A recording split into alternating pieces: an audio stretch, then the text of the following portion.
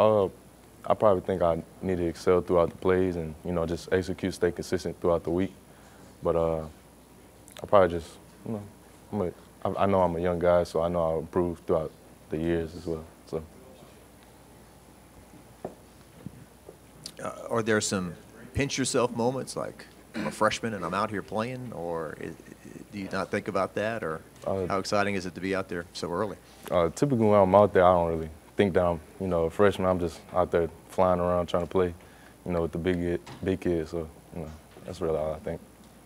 What what are the challenges of this team that you're playing this week? They score a lot of points. Their offense has been on fire. Uh, what are you guys going to have to do in this game?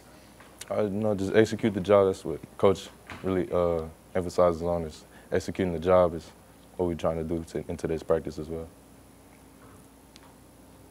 Obviously, they're playing a lot of safeties, trying to, uh, you know, get the right combination. Coach Kelly's talked a little bit about, you know, the coaches kind of learning their personnel, I guess. What are they communicating to you as far as, you know, getting out there on the field and kind of just playing loose, you know, and, and trying to, to show what you're capable of? Uh, we have a mix of safeties. Me and uh, Jardin Gilbert playing at uh, Rover right now. Uh, you know, we both have attributes that fit the, the scheme well. So, you know, we just rotating in, you know. Uh, looks like we're going to talk to Trey'Dez after we talk to you. So, what, what do you see in him? Obviously, another young guy right from the area that's coming in and trying to trying to find his way. Uh, me and him actually played on 707 together. So uh, playing with him was actually pretty fun. You know, him mossing over people. Seeing now, I was like, yeah, we really got to get this dude at LSU with us. You know, seeing him at practice, he's he gonna, he gonna be great. What, as far as the speed of the game, you know, going from high school to college, is it something that's, you know, you were noticing right away? Is it something that you're getting used to now? Yeah, yeah. Speed of the game, it gets fast, but you know when you know what you do, want know what to do, and uh, you know, like I said, stay consistent throughout your keys and stuff. It'll it'll slow down eventually.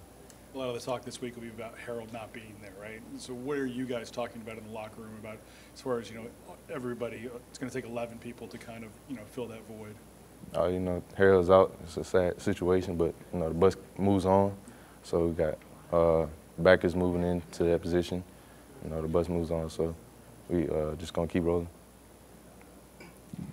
You've got on the field a lot as a freshman. What's kind of been your biggest learning curve? Like whether it's, you know, class schedule, all that, like freshman year football, what's been your biggest thing you've had to adjust to? Uh, I probably say my biggest thing is have, you know, a routine. That's that's my biggest thing is have a routine. So throughout the week, I do the same routine routine throughout since I got here. I'm doing the same routine. Excuse me. Who's helping you kind of learn the ropes? Like, who have you really latched on to? Who's latched on to you to kind of show you the way and, and what it means to be a college football player? Uh, it would be Jacoby Stevens. Yeah, he's really helped me throughout since I got here. Like probably like the third day I got here we was doing drills and stuff. You know, he he really seen the uh, potential that I had, so he really showed me the ropes. Excuse me. Who's your position coach? Uh, Jake, Jake Olsen. Jake Olsen. Yes, sir. So he's a guy that we don't really talk a lot about, right? Corey gets a lot of the secondary love, I guess. What what kind of uh, coach is, is Jake for the safeties right now, and, and like how do you feel like his messaging is getting across? He's a great coach. I really love uh, Coach Jake. He's a real smart guy. Anything you need, go to talk to him. He's gonna get you right. So Going back to Perkins, who do you feel like has really stepped up in that leadership role on the defense? uh, probably Whit. He's he's Whit and Greg. They really stepped up in that uh, role, uh, coming on the field to the, in today's practice. You know, stepping up in that role.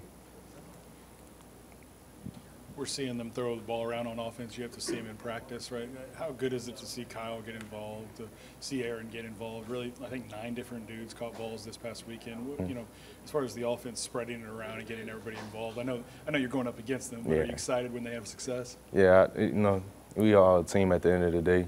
Uh, iron sharpening the iron. So when you know I see them catch balls on us, you know, we gotta get it right. But I know they're gonna go out on uh, Saturdays and execute. So it's really fun to see.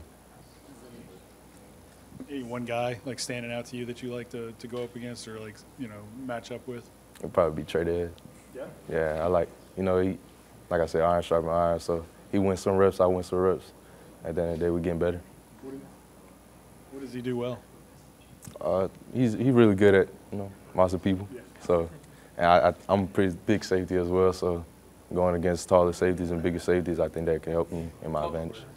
A couple more for DaShawn, guys. Is there a, a certain amount of pride you take when you're local and playing for LSU?